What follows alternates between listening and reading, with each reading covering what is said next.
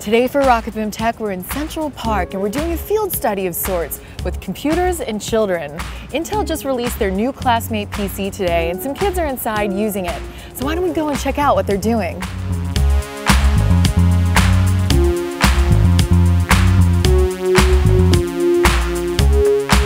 I'm here with Tony Salvador, who's one of the designers of this Intel Classmate PC. What are we doing today exactly? This is the uh, convertible Intel-powered Classmate PC that we've launched today. It's designed specifically for kids.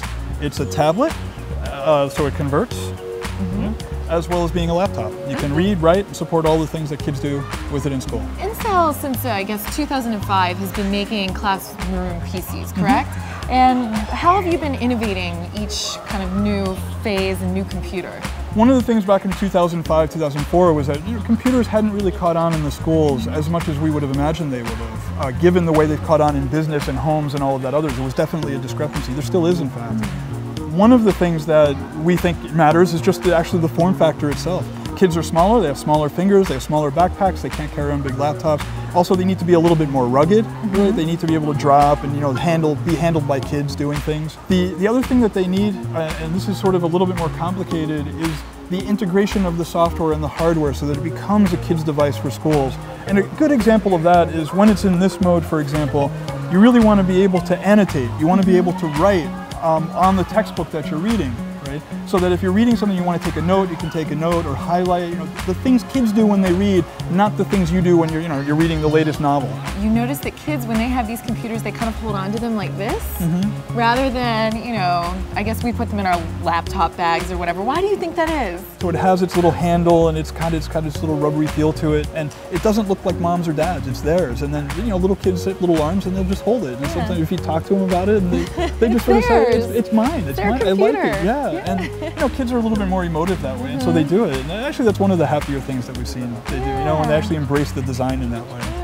Can you walk us through um, the kids using these computers while they're going out through the exhibitions? What did they do with the computers? What exactly were they um, using? What software and things like that? One of the things they did was to use the Lego WeDo, right, which connects through a USB to the computer. And then they were able to program the little alligator that they had to open and close its mouth and do things. If you put your finger in its mouth, the alligator closes. And they could actually change the program and make it do it different numbers of times.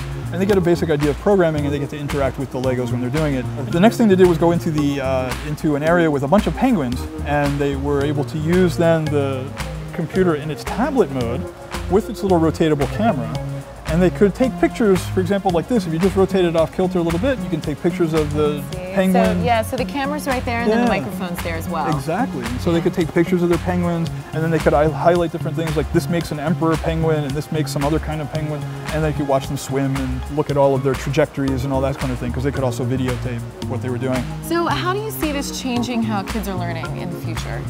Wow, good question. Well, you know, when kids are at home, they're fully connected to the internet, to each other, totally technology savvy.